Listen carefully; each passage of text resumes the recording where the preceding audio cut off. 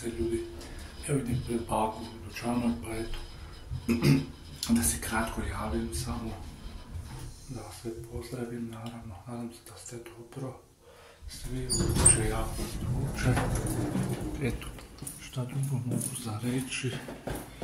Svako dobro, onaj vašim obiteljima, svima želim koji me podržavate, koji do, dođete na moj kanal i novi i koji me prate od prije isto, ma svima želim svako dobro, zato sam izašao malo van je baka u da idem pred baku, da je pomogne malo i tak.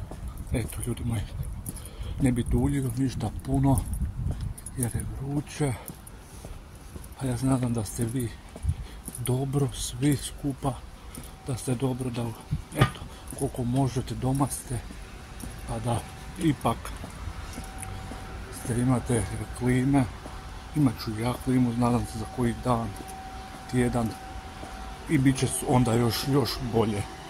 Tako za sad, ljudi moji od mene, za sad od mene toliko. Šta bi mogu reći, još pričat, vidiš za sad ne znam, pa ću pogledajte zeleno iza mene. Eto, vidimo se ljudi, neka zagi Bog čuje majka Božja, vas i vaše sve obitelji, naravno svima sve najbolje, pa se mi gledamo u idućim videima. Pozdrav ljudi!